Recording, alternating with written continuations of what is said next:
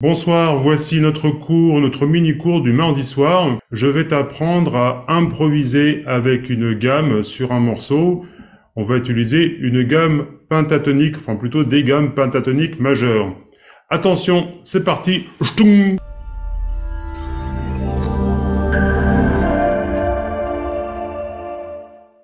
J'ai créé un cours qui t'apprend à jouer les 36 gammes faciles, et oui, il existe 36 gammes faciles que tu peux jouer à l'harmonica.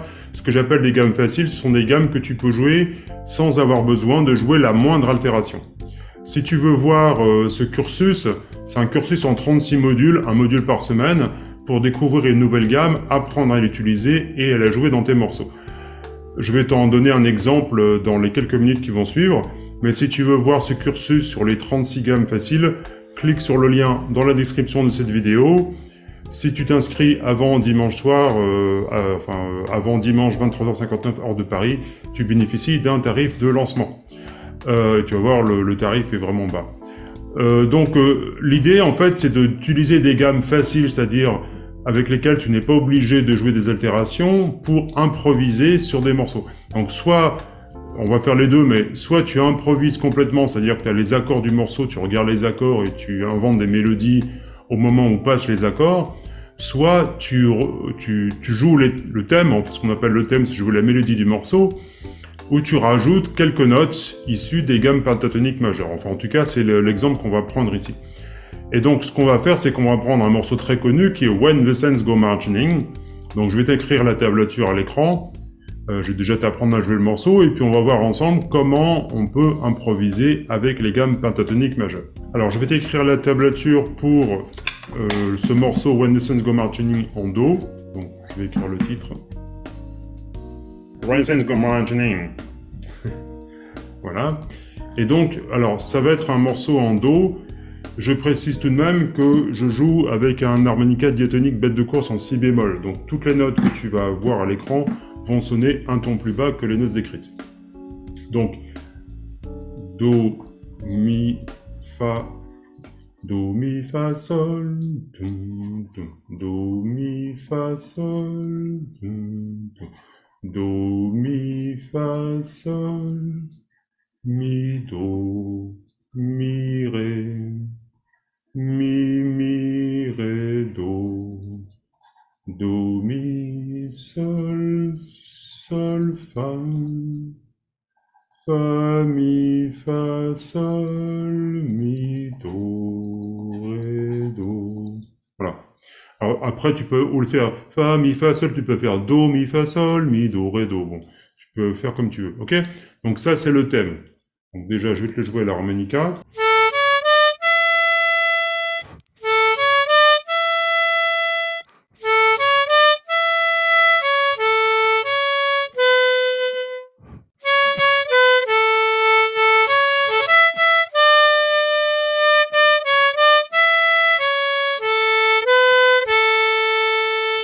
Alors ce que j'ai fait, c'est que j'ai créé une petite piste d'accompagnement pour pouvoir jouer le thème. Donc je vais te rejouer le thème maintenant, mais avec la piste d'accompagnement. Et si tu le souhaites, à la fin euh, de la vidéo, à la fin de ce cours, tu vas pouvoir télécharger la piste d'accompagnement pour pouvoir euh, rejouer le morceau avec le même groupe de musique que moi. Et tu vas pouvoir aussi t'amuser à improviser avec ce que je vais t'indiquer à l'écran.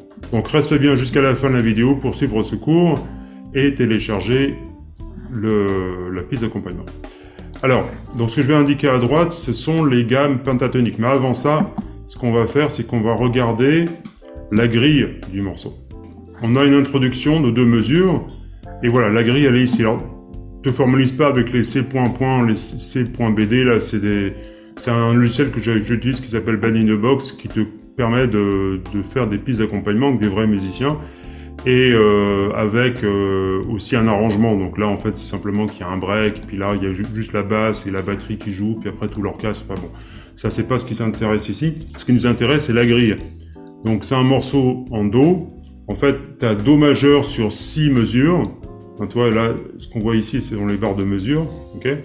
Donc, en Do sur 6 mesures, après en Sol 7, après Do, Do 7, Fa, Fa, Do, Do, Sol 7, Do. ok? Alors, donc ce qu'il faut repérer, en fait, on va simplifier la grille. Quand tu improvises, c'est bien de simplifier la grille. Donc là, on va pas s'occuper de la septième. Dans notre improvisation, on va considérer que c'est Do. Donc en fait, c'est Do, Do, Do, Do, Do, Do. Après, on va considérer que c'est Sol, Sol, Do, Do, Fa, Fa. Quand il y a rien écrit, c'est que c'est le même accord. Do, Do, Do, Do, Do, Do, Sol, Sol, Do, Do, Fa, Fa, Do, Do, Sol, Do. Ok? Voilà. Et ce qu'on va faire, bah, c'est que en fait, on va, comme ce sont que des accords majeurs, on va utiliser, donc ça c'est une gamme qui sert beaucoup, enfin c'est vraiment une gamme universelle qui existe. J'ai fait des recherches sur l'histoire de la musique.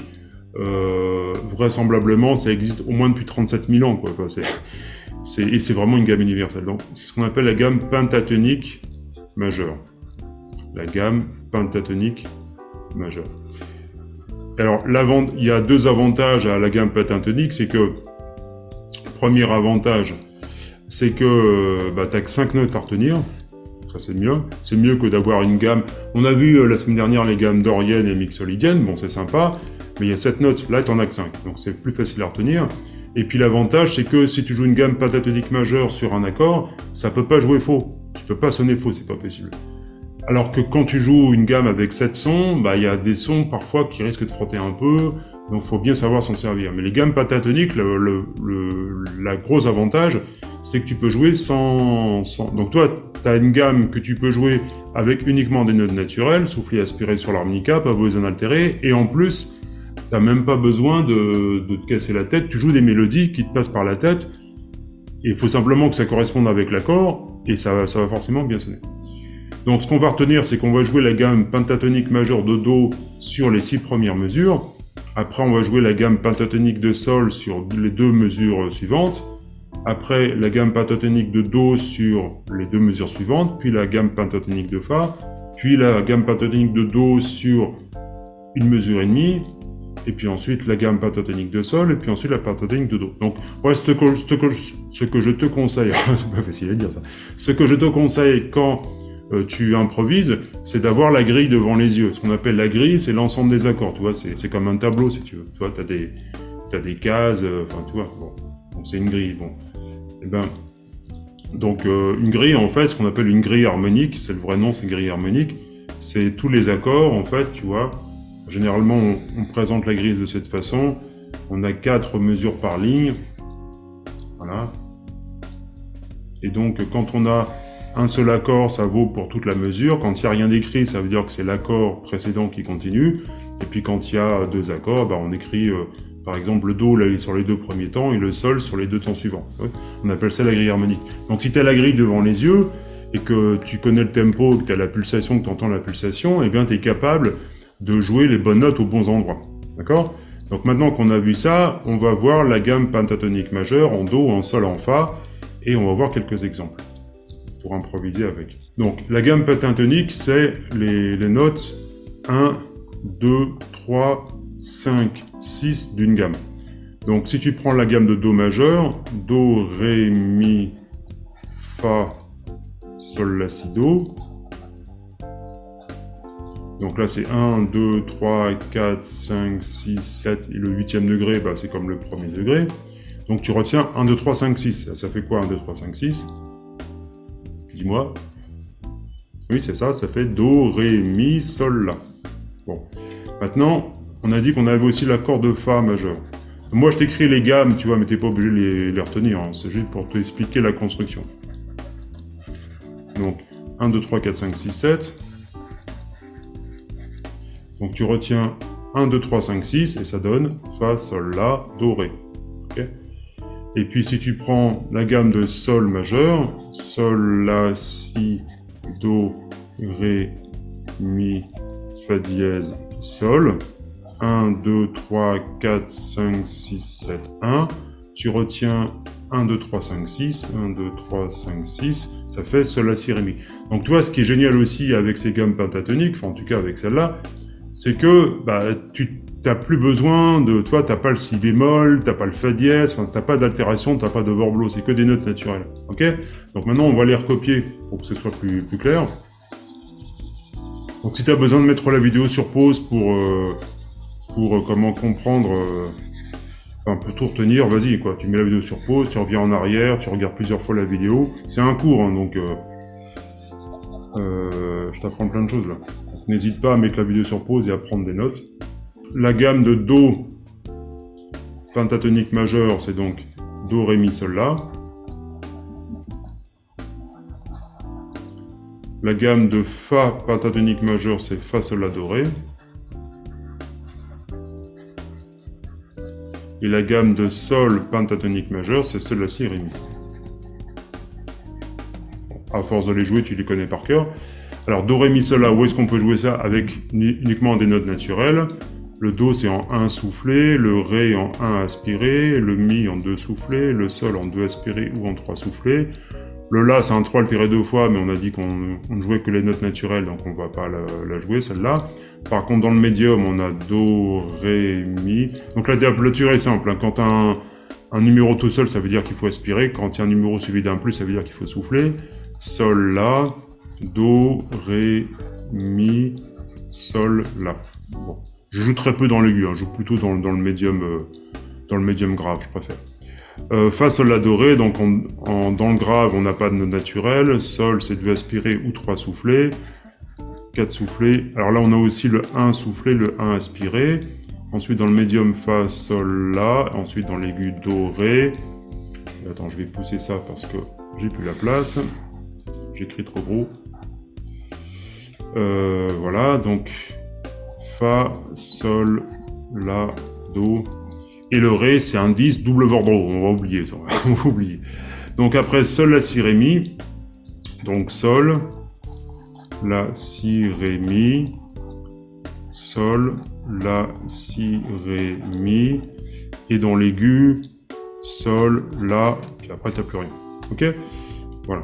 Donc, euh, attends, je vais l'écrire tout en bas. Là, j'espère que tu vois bien l'écran. Là j'ai écrit 9 soufflés et 10 aspirés.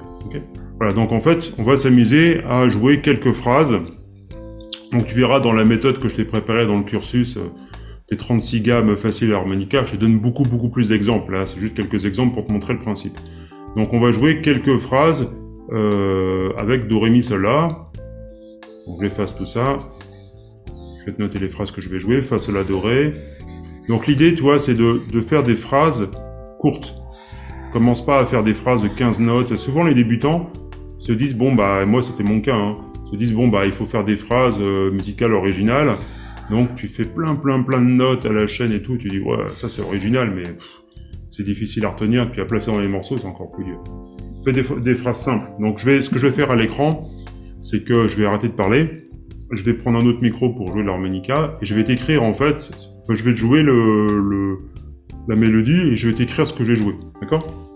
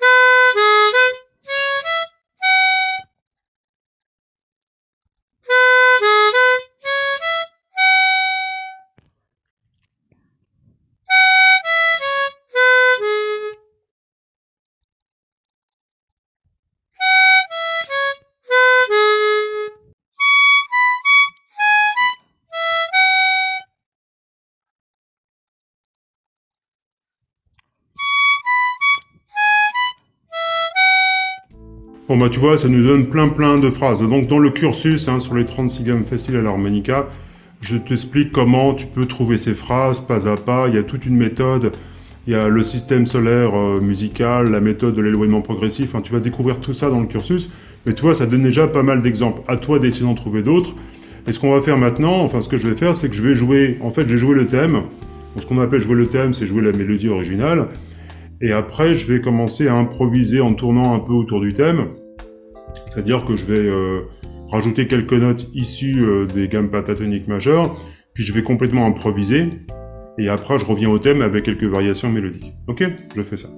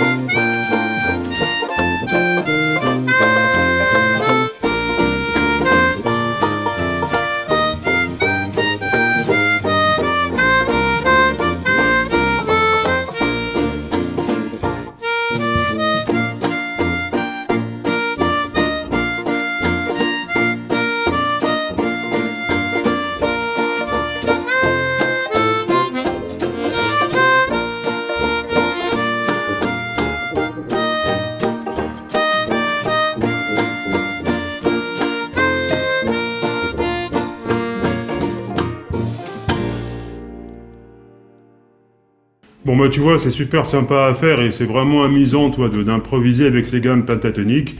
T'as vraiment peu de choses à retenir. Après, bien sûr, bah, il faut un petit peu d'habitude, mais tu vois, t'en fais 5 à 10 minutes par jour. Tu t'amuses avec des gammes, tu prends un accord, tu le joues, tu essaies de jouer des, des petites mélodies par-dessus. Enfin, c'est vraiment sympa à faire quoi. Eh bien tout ça, je peux te l'apprendre dans le cursus sur les 36 gammes faciles à l'harmonica. Donc si tu cliques sur le lien, tu peux accéder à la page de présentation avec une vidéo de présentation du cursus où tu vas déjà en apprendre beaucoup. Donc même si tu ne t'inscris pas au cursus, euh, bah, tu vas déjà apprendre pas mal de choses avec cette vidéo. Et si tu le souhaites, tu peux télécharger en cliquant sur le i comme invitation en haut à droite de cette vidéo, tu peux télécharger la piste d'accompagnement pour rejouer le morceau. Donc c'est une piste d'accompagnement en si bémol, puisque je joue, avec un armica en si bémol, donc c'était aussi un armica en si bémol. Bien, en téléchargeant cette piste d'accompagnement, tu peux euh, improviser comme je l'ai fait sur When the Sense Go Marching. Si tu veux apprécier ce cours, clique sur le pouce en l'air, le j'aime de YouTube, et nous nous retrouvons jeudi où on va jouer un autre morceau avec des gammes pentatoniques un peu différentes et dans un autre style puisque ce sera une chanson interprétée à l'origine par Elvis Presley. Donc on se retrouve jeudi. D'ici là, bien évidemment, bonne musique